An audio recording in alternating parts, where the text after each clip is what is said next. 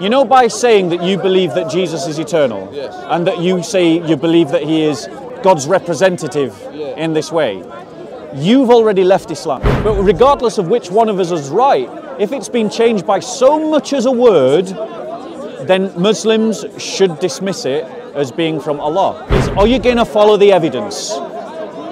That's the question you've got to wrestle with. Will you follow the evidence? Have you got the courage to follow the evidence?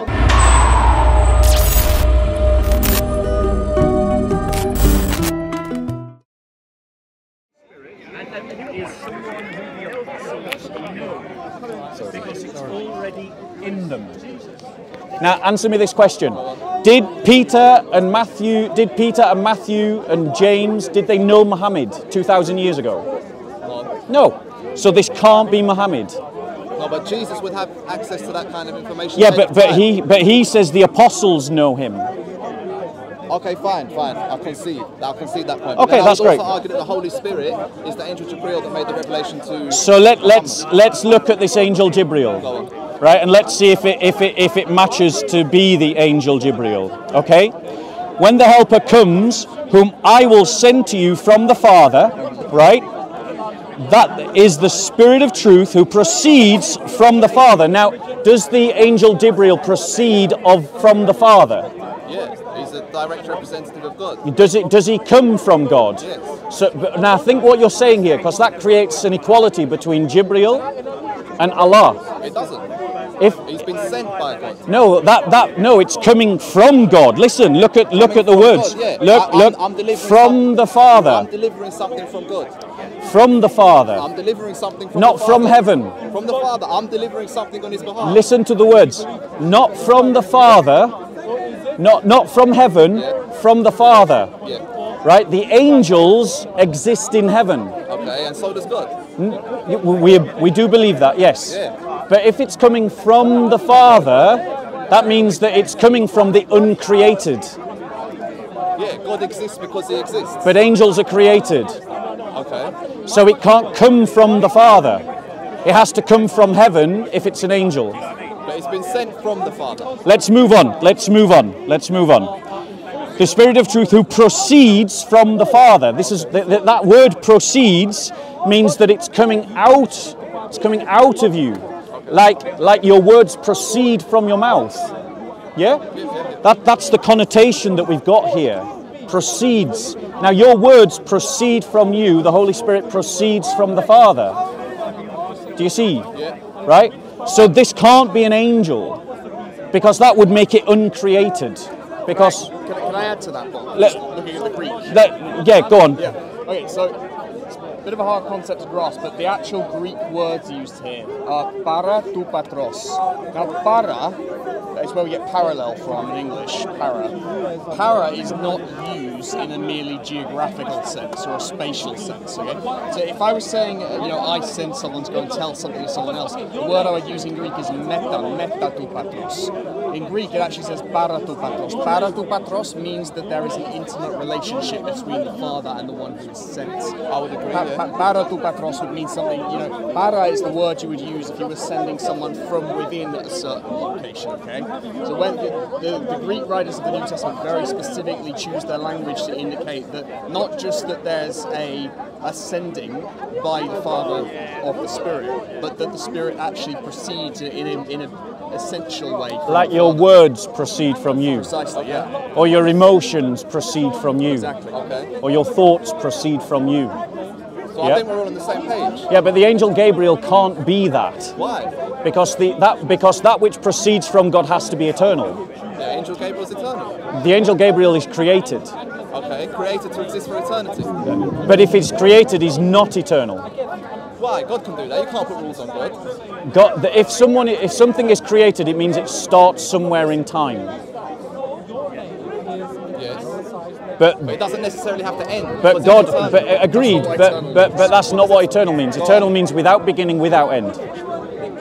So God is without beginning and without end. He alone is eternal. Where do we get that definition from? It's just a common understanding of the word eternal. And it's the most logically consistent one when we're talking about God, when we're talking about the realm of cosmology and philosophy. You know what I mean? We we participate in the divine energy because God will allow us eternal life. And so we become participants in the divine substance. But, but the Holy Spirit is proceeding from the Father. So if we're created, but we can also achieve eternal life, does your argument still stand? Yes, because because our our eternality is a a a, a interaction with the divine energy. It isn't equivalent to the divine energy. We're not. Okay, but When- I didn't claim that Gabriel was, or uh, Gabriel was Okay. equivalent to the divine energy. But but also let let's move on a bit. Let's move on a bit. Ah, I've got ya. No no no. It's just because I just because I think I think you're gonna you, you're gonna struggle. Go on. We, we, we're going to struggle. I, I, we say it, it says clearly that the Holy Spirit will proceed from the Father, right? From the Father, He will testify about me. Truth it is, but I tell you the truth, it is to your advantage that I go away. For if I do not go away, the Helper will not come to you. But if I go, I will send him to you. Now, Jesus Christ is claiming to send the Holy Spirit. Okay, how, how do you know that God wasn't speaking through Jesus at that point in time? Do you believe that Jesus? There you go. So it's God Yeah. claiming to send it. Yeah, yeah, but that that Jesus Christ is also saying that I, He's going to send the Holy Spirit. He says it right there. I will I send will Him send to it you. But your esteemed colleague just said it was God speaking through Jesus. The Father and the Son, because the Son represents the Father. yes. The Father, the, the, the words of the Son are the words of the Father. I would disagree. Well, you, you would have to argue with Scripture. I will. There's a, there's a clear distinction between father and son. Yes, I agree. There is a clear distinction between Father and Son. Peace be with you, Pastor. Peace be with you. I'm just in. I'm just in a conversation. Thank you, Father. Yeah, give. Let's call. Now I know you're in the UK. So, he's saying the, the Son is saying that I will send him to you, and when he comes, he will convict the world concerning sin and righteousness and judgment. I have many more things to say to you, but cannot bear them now. But when he, the Spirit of truth, comes, he will guide you into all truth. Now, is the angel Gabriel guiding people today into all truth? No, but the revelation was made. It was guiding people to truth when it was made. Right. So the, the, the angel, but you've already admitted, and we agree, that the Quran's been changed. Probably, yeah. Right. So if, if we agree that the Quran's been changed, then we can no longer consider that revelation. But the Bible's been changed too. We Christians don't view the Bible like you view your Quran. That argument works against the Quran, it doesn't work against the Bible. You're arguing the Bible's the word of God, but the New Testament Do you the word of no no I said no no I said no I said I said that Jesus Christ is the word of God. Yeah, and this is Jesus Christ's teaching. Right. So Jesus Christ is the word of God to us. Okay. It's a very different concept. It's not a different concept because you get the word of Jesus from here. No, the Jesus Christ, his actual bodily person is the word of God. They're not going to take my time. They're not going to take my money. They're not going to take my own. Okay, if that's That- what you want to say, yeah. and- I would and- argue it's God's and representative no, on earth. I- and I would agree with that. You see, th- there's a difference between there's a difference between an accurate description and a sufficient description and an optimally maximal accurate description. I can say that you're a man. That is an accurate description. If I said that you are a mi- or, or- or a pale-skinned man with a beard who's about six foot, that is a more accurate description. If I went on to describe your entire nature as a human being down to your genetic code, that would be an optimally maximal sufficient description. So what you're saying, I agree with. But what I'm saying, it's everything you've said and more. And, and this is what we, we say to the Muslims. We agree with you, Jesus Christ is a man, but he is more than a man. Yep. And that's what I'm saying to you. What you're saying is right. Jesus Christ is the representative of the Father, but he's more than just the representative of the Father.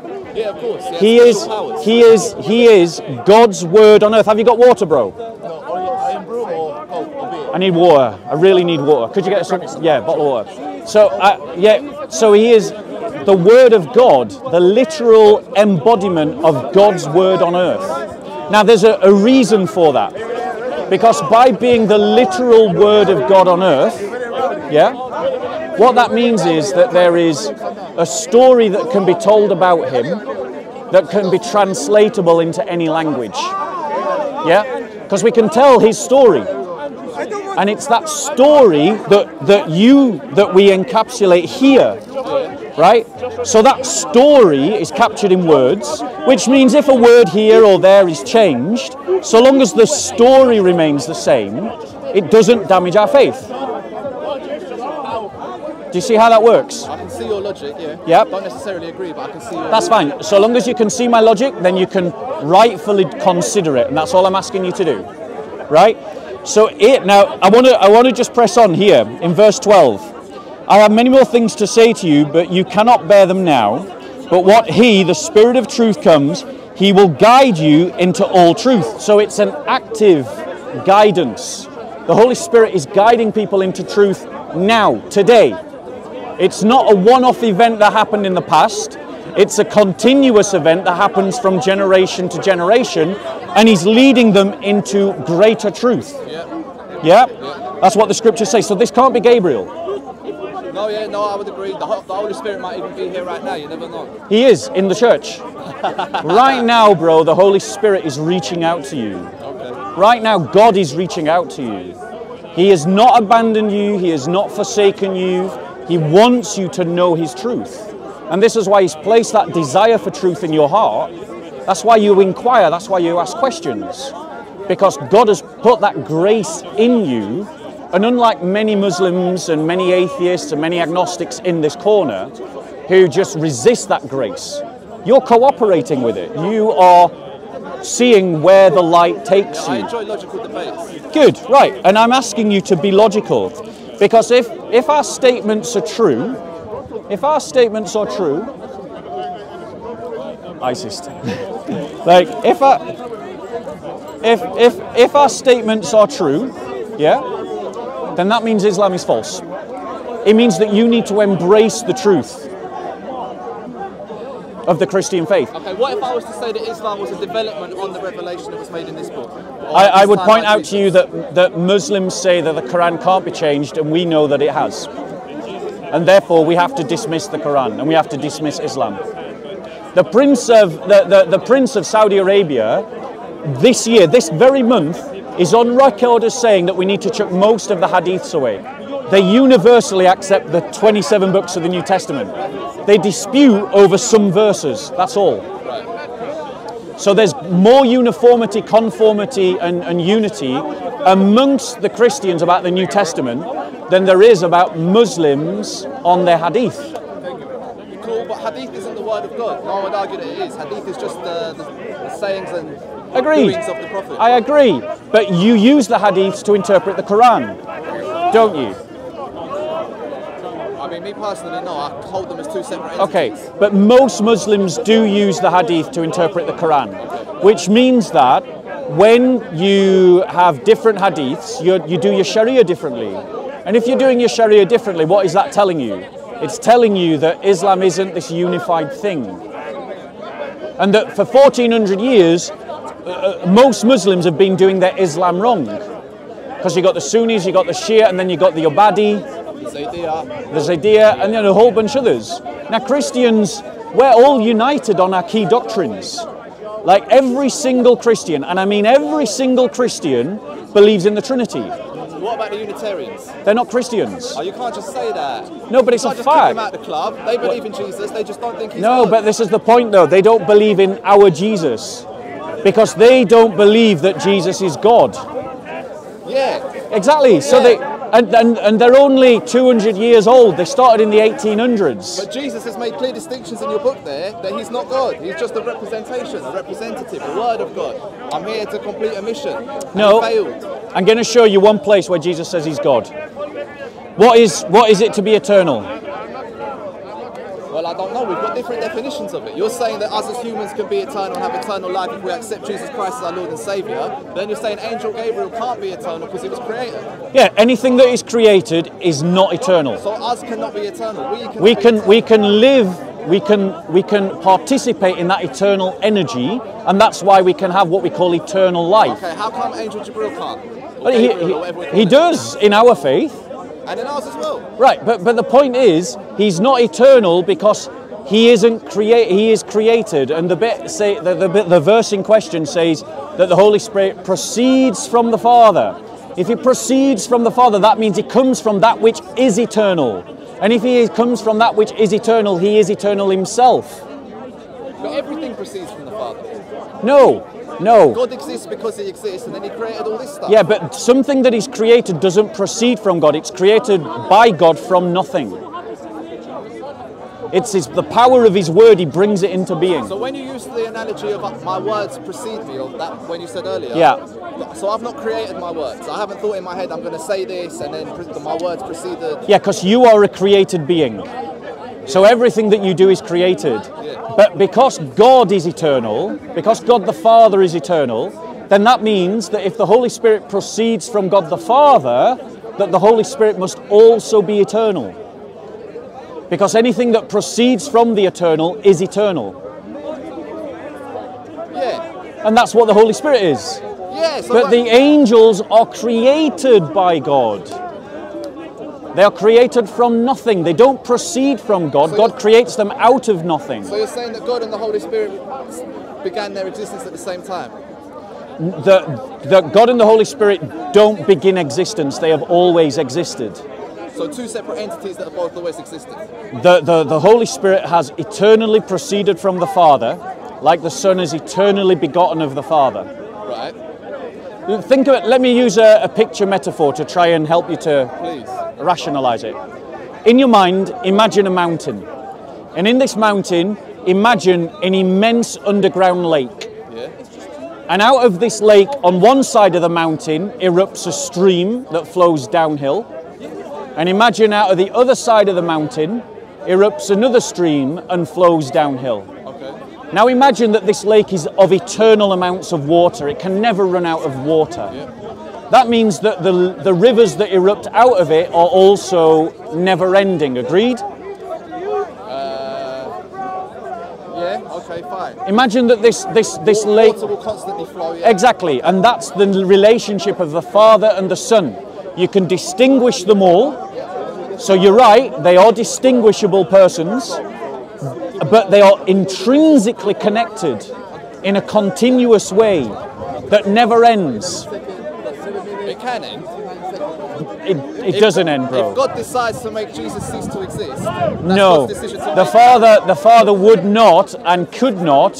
Well, I'm not going to say could, but the Father You'd argue he would not do such a thing. I, I'm, but he has the power to. I am. I'm going to hesitate to speak because I'm not a theologian. So I'm going to hesitate to speak theologically. Fine. But I will certainly say that in our faith there is no concept of the Son, of the Father, ending the Son's begottenness from Himself. We don't have that idea. We believe in an eternal continuation of that, that movement. Yeah, yeah, yeah. I'm Yeah? just playing devil's advocate. Right. A few ideas But I, I just no no no that's fine that's fine. I just want to show you something in the scriptures. It says, "This is Jesus speaking. Behold, I am coming quickly. My reward is with me to render to every man according to what he has done. I am the Alpha and the Omega, the first and the last." Now let me ask you this question: What can come before the first? Zero. What can come before the last? After the last? Okay, fine, nothing. But perhaps Right. he was wrong. So nothing can come after the last, and nothing can come. Hi, how are you? Oh, thank you so much. Thank you. Um, and so nothing, nothing can come after the last, Eternity, and nothing, and nothing can come before the first. Right? So Jesus is saying that He is eternal. Yeah, but I would also argue God has the power to make Jesus cease to exist if But- he so desired. Well, I mean, Jesus was up there crying all day. take, take, take, take that up with the theologians. What I'm saying to you is in the, our faith, we don't believe that. Yeah? And I think there's probably a, a good theologian who can explain to you why, as Christians, we wouldn't believe that. But simply put, the Bible says no one comes before him, no one comes after him. Ergo, he is eternal. Yeah, yeah, I'd agree Jesus is eternal. Yeah. Okay, so bro, if you believe that Jesus is eternal, Yeah. and you believe that Jesus is the Messiah, then you're already a Christian in belief. I, I, yeah, but I, was, I wouldn't argue that he's exclusively the only eternal being or the only Messiah. I would then argue that there was another revelation with Prophet Muhammad. So, d- so, so here's the problem. I believe they both come from the same source. Here's the problem. If you believe that, that, because, bro, honestly, you know, by saying that you believe that Jesus is eternal, Yes. and that you say you believe that he is, um, that, that, that he's God's representative in this way, you've already left Islam. You've become a Christian by this statement. Okay, so then explain to me about The- Prophet, let me- let me- Isa, Isa, I will do. I will do. But but let me just let me just go on to something, on. which is that you need to now have the courage of your convictions, and and to stand with us and say I am a Christian now. Are you ready to do that today? Okay, fair enough. But I do, I do enjoy the debate. Okay, right. So when you're ready to do that, let me know, and we'll we'll get you into a good church. I, I came from a church today that already has four Muslims, young men like you that have all become Christian. I'm going to one of their baptisms in a month's time. I, I'm talking to two sisters in the north of England who are secret believers, Christians in Muslim families. Right? You're not going to be the first Chris- Muslim to become a Christian. You're, you're not. My own fellowship, my own fellowship, not the one I came from today, my own fellowship ha- has one, and we used to have two, but one of them moved away. And, and that was an entire family of Muslims. So lots of Muslims are becoming Christians, bro. You're not going to be the Lots of first. Christians are becoming Muslims. Right. So, so well, all I'm saying to you is you're not going to be the first Muslim to become a Christian. Yeah, I understand. Right. You're, you're selling your uh, beliefs. And what I'm saying is you've already accepted our beliefs. but, uh, what, so what does the Quran say about Isa? I'm sure it would argue the same So, point. so let's let's look at Isa. So the Quran says about Isa. Firstly, I I just want to point out to you something. The use of the term Isa has absolutely nothing to do with Hebrew. Okay. That this is one of the proofs that proves that Islam is false. The Quran had nothing to do with Hebrew. It was, it was Exactly. It was a tribe out in uh, Saudi. So why are they using a Greek loan word to speak of Jesus? Isa is a Greek loan word. It's not an Arabic word. okay, but then why are you guys calling Jesus Jesus? Right, because we in our lang- in our faith have no problem with translations. The thing is, you you've got you've got an issue in Islam that you use names without understanding where the origin of those names come from. There's absolutely no basis to call Ye- Yeshua, which is this proper Hebrew name, Isa. No basis at all, right? Jesus is at least uh, an English equivalent to Yeshua. It means Yahweh, Je- Jehovah saves, or Jehovah's salvation. Like Yeshua means Yahweh's salvation. But Isa has got nothing to do with that at all. Okay? But Isa in the Quran says that Isa was just a prophet, that he was a word sent by Allah, but that meant he was created. So the Quran says that he's created, whereas the Bible says he is uncreated. The, the, the Quran says that he was not crucified. The Bible says he was crucified. So with, with going back to that thing you said about created, we are we I thought we concluded earlier that the Father and the Holy Spirit are eternal and Jesus was created. No, we did not agree that Jesus is created. So? I never agreed to that. Imagine, go back to that lake in your mind, I- I- yeah, I right? Imagine that the lake is timeless and infinite. Timeless and infinite. So at the point of existence, Jesus, the Holy Spirit, and the Father were all they all just existed. They have always just existed. All three of them, right? Yes. Okay, right? But in the same way that in this picture metaphor that we're using, the lake and the rivers are intrinsically connected. They're made of the same stuff. It's H2O in the lake, it's H2O in the rivers. We believe that the Father and the Son and the Holy Spirit. I want to give you something else so that we can talk on Skype. Yeah? Let, let me give you. Have you got a pen or paper or anything? No, I don't. I'll give you my number if you want. Just message me. Uh, my, my phone is literally dead. I'll message you on BTB. At, uh, When are you going to do that? Tonight when I get back. Right. Email me tonight. Subject being what? just just let me know that it's you. Okay. So- subject will be it's me. Yeah, Okay. yeah, and then and then me and you can talk.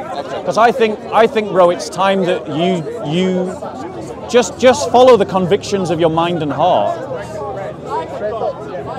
That's all you got. It's just about having that courage to go. Do you know something? I believe this, so I'm going to give my life to it. Yeah, and I, and I think it's time you do that. And like I say, I can introduce you to loads of Muslims who become Christians. There's actually two sisters. I'm looking to find them a Christian husband. Really? Yeah. Well, they're, they're, they're Christians in Muslim families. So what's going marriage broker now. to? It would appear You're so. going to charge a small commission for that. No, it's totally a free service. As long as the good outweighs the bad on Judgment Day, I think we'll be all right. I don't think it works like that, bro. I would argue it does. Maybe I've got inside information. Maybe, maybe, maybe you're in. For, JC, I want to give two talks. That's the camera for you, bro. Right, okay. got two cameras, so I have to operate that one and that one. So I'm going. All right. Well, I, I maybe want to move this camera to do a talk in a bit more quiet. Yeah. Whatever you want. All right. I'm Yeah. just there. What is You it good for battery and for sound? good. Are you sure? Yes. All right, bro. All right. So yeah, he, he messed up the techniques, tech, technicals uh, last week. So, so my point is to you, bro, right? Like, it, it, it, it's just if you've got this conviction in your heart that Jesus is the eternal representative of God, One off. I'm not going to say exclusive. I agree. The Holy Spirit is another. And Prophet Muhammad. Well, this is where I would disagree, right? And the reason why I would disagree strongly Yeah. is because the hadiths about Muhammad, we've, the, uh, Muslims are already chucking in the bin. They came 200 years later. Are we agreed that we're chucking them in the bin? I don't know about agreed, but I would say they came 200 years later from a guy that never met Prophet Muhammad. Agreed. And this is why we should chuck him in the bin. Okay, but then we, we need to And the crown and the crown prince of Saudi Arabia agrees with me. we need to draw a clear distinction between Quran and uh, Okay. So the next thing that I would say to you is that the um, the the the Quran we both know has been changed. Now, me and you argue about how much it's been changed. You think a lot, I think a little. But regardless of which one of us is right, if it's been changed by so much as a word, then Muslims should dismiss it as being from Allah. Okay, but then I could make the same argument with the Bible about Mr. Paul, Right. So here's New Testament. So again, remember what I said. We believe that Jesus Christ is the Word of God, and we can tell His story. So for us, what's important is not the actual words, but the story. If you now, you and I both know you can tell the same story in different words. Agreed? Agreed. And so long as the story is the same, the difference in words is not important. Agreed? Uh, so long as the story remains the same. I would disagree with that one, mate. So you think that the, if the story remains the same but the words have changed, that means the story's changed. Remember, You I'm, can, go in, you can go into more depth and you can use more complicated semantics to tell the same story, uh, and there would there would definitely be. I agree. I agree. There is a baseline. Yeah, Bob went to the shop and bought a bottle of water. Bob woke up in the morning, brushed his teeth, got dressed, Yeah. strolled to the shop. It was a leaky. Well, well, let's put it this way: the, the the Greek manuscripts are our baseline. So long as whatever we translate from the Greek manuscripts captures the truth of the story of the Greek manuscripts, then the translations are valid. Yeah, even if they have different words. And the thing is, even if the Greek manuscripts themselves have different words, so long as they're telling the same story, again, that's fine. It- me and you, for instance, if we go away today and we tell the story of, of what happened here today, we're going to use different words. Of course, and we both have a different recollection of it as well. Agreed, but if those two recollections, Coincide. then th- there's no problem. Okay. Even though we use different words and even though we tell the story from different angles. And that's the point. In Christianity, it's like that. So changes to the Bible are not the problem that you think it is because we don't believe about the Bible what you believe about the Quran. And that's what we believe, bro. So that's what that's that's what I'm inviting you to believe. Yeah, no, but I don't know. It doesn't make logical sense, Bob, mate. What if the um, Bro, it, it what if, makes the, what, if, what if there's been stuff been put in the Bible that weren't originally there? Well, this is the point. And you guys are believing stuff This is the point. I. I, I, let me deal with that question because there's multiple. piece we wrote. Do you, can I, do you mind, bro? So what I'm saying to you, what I'm saying to you, is that is that when we compare all these different manuscripts, what we see is yes, there are differences to the text, but there's no differences to the text that compromise the story that's being told. None. yeah, that's your argument. But it's also a fact. It's not fact. It's not factual. Well, well, show. Then in that case, what you have to do now is to show me a change to the Bible Yeah. that, and, it, and and as a Christian, it won't matter to you because we accept the authority of Paul, we accept the authority of Matthew, we accept the authority of Luke. They were all pseudonyms of Paul. And I'm afraid that's not true. The writing styles are different, the theologies are different. Johannine theology, like they, they have a different angle on the same story. Like if you read Matthew, Mark, Luke, and John, particularly the synoptic gospels, they are focusing, like let's just look at Mark, they are focusing in on that Christ is the suffering servant. If you look at Paul, he's saying, well, what do you do about that? So they're, they're doing def- very different literary exercises.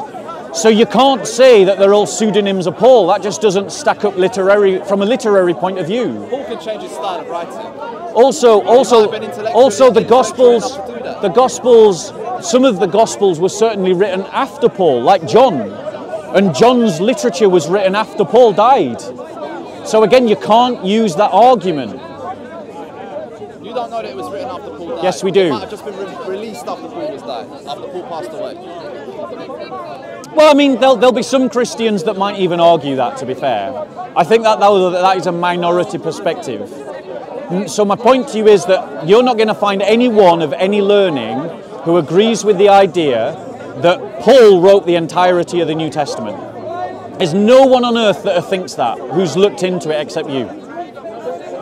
I promise you, bro. Including, if I may add, anti-Christian scholars like Bart Ehrman. Yeah. Even, he would not claim that the whole of the New Testament. And Bart Ehrman has made a career out of attacking Christianity.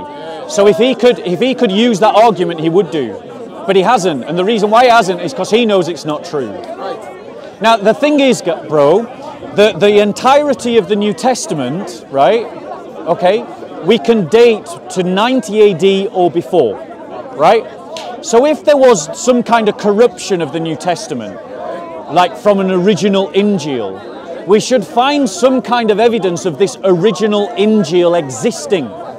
But we find zero evidence of it. No one ever talks about it, no one ever quotes it, no one ever, you know, we've got no evidence of an early Muslim community that followed a Jesus of Islam. There's zero evidence to any of these claims. They're all spurious claims that are made from the 7th century onwards. I, I would I would argue that what the Muslims believe is that Isa was the Jesus you're talking about, but the story got changed. Then Prophet Muhammad. But they have no evidence. His, revealed his, uh, got his revelation. My point to you is there's got no evidence. The Quran. But the Quran's been changed. So is the Bible. Right, but in our religion, remember what I'm saying to you, and this is because we're repeating ourselves I know, now. I know, I know, but so I'm gonna, I'm, I'm going, it's never been I'm changed, going, that doesn't mean I'm going, put it there. I'm going, I'm going to start, uh, bring this to a close because we're starting to repeat ourselves. First things first. We believe something. I am inviting you to believe something different about the Bible than what you, what how you've been taught to think about the Quran. Okay, and I We believe we believe that it's the message that has to be secure, not the wording of the message. But the wording is the message. N- No, you can say the same message in different words, Okay, and we both know that. So, so that's not an argument. So just pointing to different variant words in the early manuscripts does not invalidate our faith. Very means small nothing at all. What you've got to demonstrate is that one Bible says one thing entirely different from another Bible. And I'll help you. There are Gospels that come much later that try to do that. But we identify that they come much later. Which means that no one believes that they're original. None of them. Uh, just because people don't believe it, that doesn't mean it's not necessarily the case. Bro, if the if the Gnostic Gospels that come about in the second and the third century were were, were being quoted you know, uh, uh, were around in the first century, Yeah. there would be there would be some kind of um, use of that text in the first century. There'd be some kind of engagement with it, but there isn't. The engagement comes much later, which means that those texts didn't exist. It's like the fake Muslim Gospel of Barnabas. It's fake, and we know it's fake because it, it gets its geography wrong, it gets its history wrong. It talks it about it talks about barrels of wine.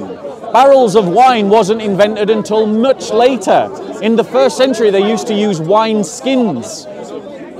Do you know what I'm saying?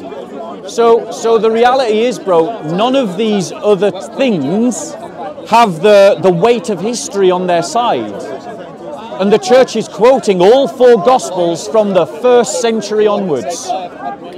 Irenaeus, Polycarp, Papias, they're, they're all pa- Papias, yes, they're, they're all quoting the gospels that we believe in uh, from the first century. the Diatessaron, no, the Didache, sorry, that's a Didache is a first century document. It's 90 AD and it quotes the New Testament I believe in. Right. So, so this, these other texts, they come much, much later.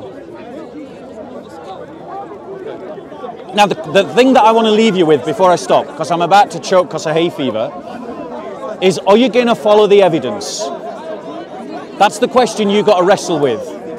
Will you follow the evidence? Have you got the courage to follow the evidence? I'll definitely do more research into it and Okay. we can continue this debate. Well, you've got my email. I do indeed. You're going to email me, right? Bro, you've already accepted our beliefs. Now you just have to have the conviction to say, these are my beliefs and I stand on them. Yeah. And then I also would argue that Prophet Muhammad was a Well, let's make, when, when we talk about that, right, when we talk about that, uh, our, our meeting on Skype Yep, yep, yep. or via email, let's make that the topic. Okay, fine. Thank you for your time. You have a good day. Have I introduced you to my uncle Yusuf? No. He's very knowledgeable on these topics. I would love to talk we to call him. him Muhammad as well. Yeah, let's talk to him. Cool. Let's talk to him. Brother, it is Sam, isn't it? It is, yeah, we spoke a few months ago. I wasn't sure if it was you or not because last time I saw you it was winter and you were all hooded up. Peace be with you, bro. Blessed Trinity. Peace be with you. watching some of your, your videos. I'm a fan of your videos. Thanks be to God. Say hello. Thank you, thank you. Peace be with you, bro. Peace be, peace be with you, bro. Right. Wrap up. So a quick wrap up. I wasn't really going to come today, to be honest, but you know I can't keep away. Um, uh, we had a talk with a brother who, who, to all intents and purposes, has accepted what Christians believe, and he just needs to have the courage of his convictions and to call himself a Christian and to walk as a disciple of our Lord. Basically, if you look into what a Messiah is, you realize that a Messiah is a cosmological figure in the Jewish religion. Jesus Christ is the only standing candidate from history that can rightly claim to be the Jewish Messiah. There is no other candidate, and because the temple has been destroyed, there can be no other candidate. And Christians believe that Jesus Christ, that cosmological figure, is eternal, which means that he is more than a prophet. Muslims describe something accurate about Muhammad when they say that Muha- Jesus was a, sorry, they describe something accurate about Jesus when they say Jesus was a man. Yes. But Jesus was more than a man. And and Muslims just have to look into a, what a Messiah is. Look into what it is and then see that your own religion doesn't have any proper description of a Messiah. And that means, guys, you've got to understand that when the Quran calls Isa Christ, it's using a term that it doesn't understand. But if you take the time to understand it, you will realize that Islam is false and Christianity is true. Perfect.